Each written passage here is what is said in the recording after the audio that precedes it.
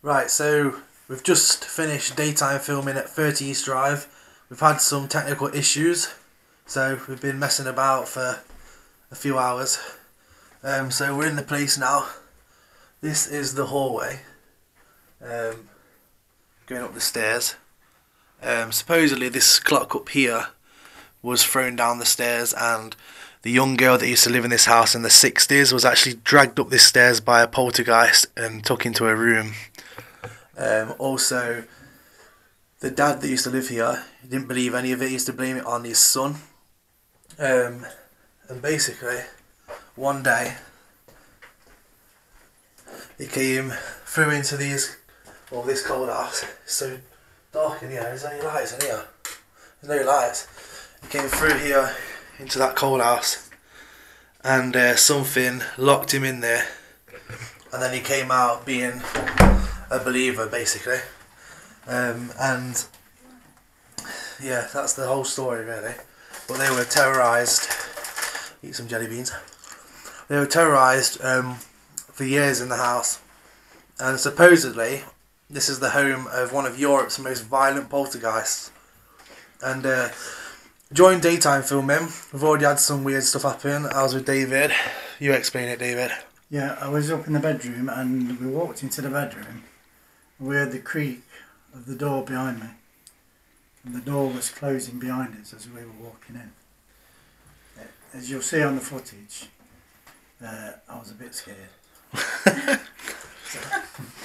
so, uh, yeah. Yeah. When was when I was actually screaming.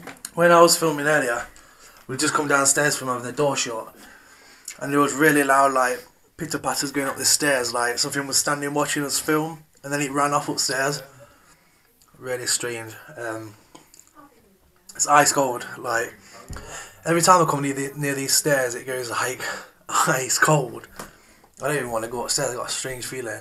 David, Yes. come upstairs with me. I got a strange feeling. I've gone ice cold. You wimp! Oh, I've gone ice cold. I don't want to go up by myself. oh yeah. Go for me as well. I know something's gonna flipping scare us today, tonight even. Uh, do these lights? What was that? Well, Dave's Rob walking the cook lock. What? the bloody hell was that? I thought I thought it sounded like a child or something. Rattle. It does chime on it. Does it? That's scary, that. Yeah, this is the room, and this door moved. This is the room where uh, creepy doll. See the door?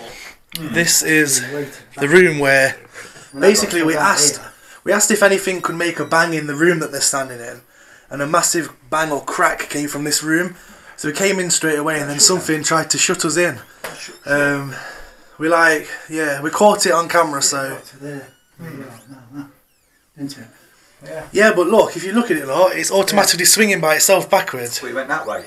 Yeah. yeah so if you if you leave it Yeah. when you when it was wasn't that far that far. it was like here Yeah. It was like that when we came in. Then it Yeah. went like it sort of went like that. Then it swung backwards and carried on going slowly like that to about there. Innit? Yeah, we're just having a bit of a little break while we film this before we get into it. Um, David won't be laughing too Oh, long. I'm in the coal house. Yeah. Oh, we'll see you later. So uh, yeah. So the viewers uh, voted for David to be locked in the coal house later Thanks in the lot. pitch black. Cheers, everybody. Love you too. Um, you also voted for me to stay in a bedroom, but I've got to be blindfolded.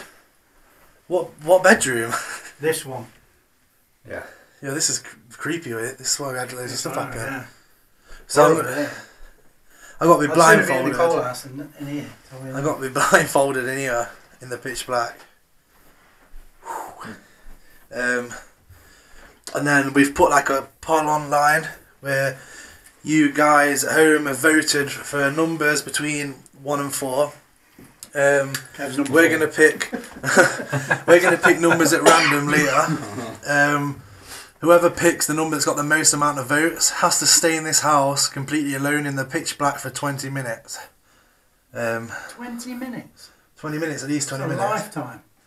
You trying to, trying to, do what the what's name is? They make me go grey. I know what number is one. Nobody else knows. So if I pick that number, you'll see my face drop. Because I don't want it to be me. Yeah. I do not want it to be me. Yeah, well, make sure you don't look when you're picking the numbers out.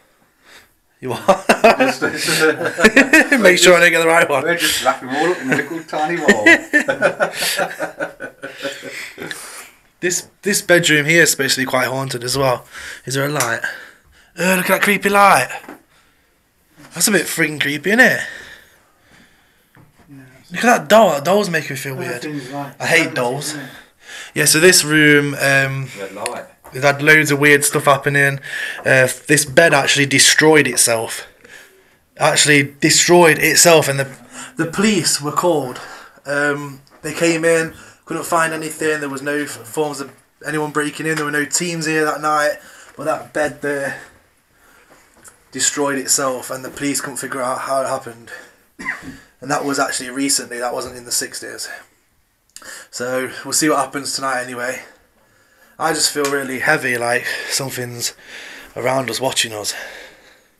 Richard, Richard, Here's the uh, living room area. Old radio. Here's them. What's that, Tom? I don't know. It's off somebody's camera. Holy Bible. Might need that later. After a bit of filming in a bit, um, I think I'm going to do like a little ghost box session in here as well, which will also be in this same video. So in about a second, What's he on? it will skip to that ghost box session. So, yeah. See you then. Right, so I'm in the living room at 30 East Drive. I'm going to carry out a Jensen ghost box session.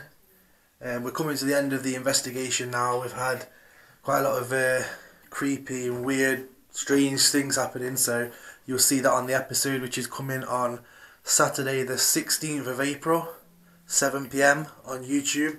Get ready for it because it's going to be a crazy episode. So let's do this anyway. See if we catch anything. See if anyone wants to talk.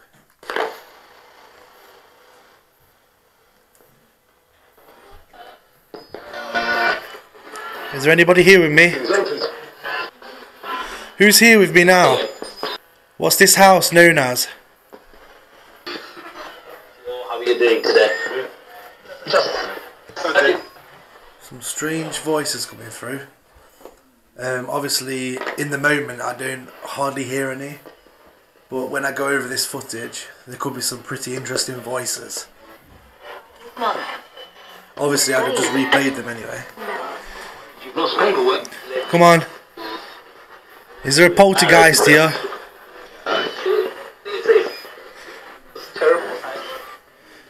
Did I say it's terrible or something? Swear it did.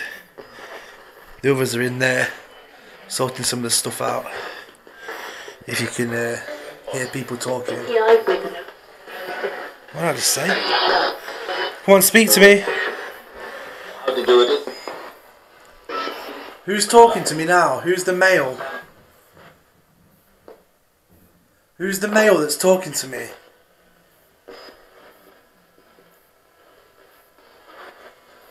I don't know whether um, there was any sort of relevant voices on there, but I definitely heard some things on there, and I'm sure 100% there would have been some amazing responses because all the time, not in the moment, I come across them in the edit.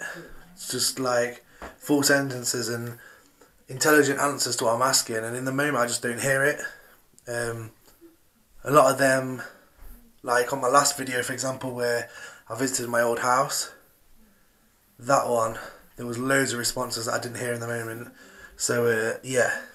Anyway this concludes my little behind the scenes ghost box video at 30 East Drive the poltergeist house.